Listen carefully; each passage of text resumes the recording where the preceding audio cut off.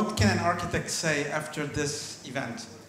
Really, I heard so many incredible stories, so many incredible and passionate people, so many fantastic thoughts that have been presented here, unlike anywhere where I really am. And I have to really think of Lodovica Rossi Purini, because to put together such an event is not just to put some people together, but it's an ethical, ethical effort to create something better in this world and to bring people together. And since we are in Rome, really the greatest city in the world, I think it's appropriate to remember somebody who I really admire, a great thinker, a great philosopher, Sigmund Freud, who, when thinking about the human mind, thought that the human mind actually resembles Rome. He thought that the human mind is like Rome because on top of it, you see what is there, but you also see the ruins of the past.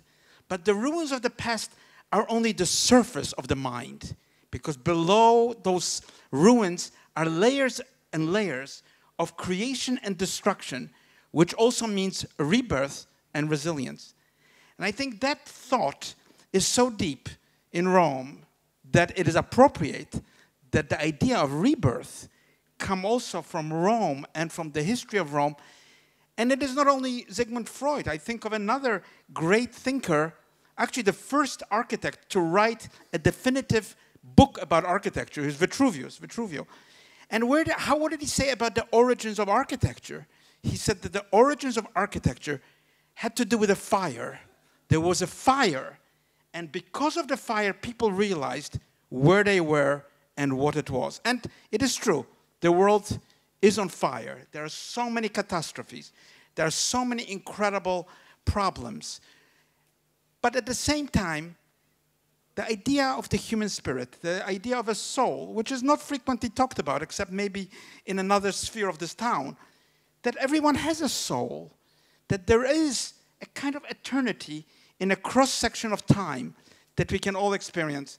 And I think that's what this event really is about. It is about bringing together really the capacity of people and to build together. And I say build together because to me, architecture is not just building a building, building a city, is the greatest symbol we all have.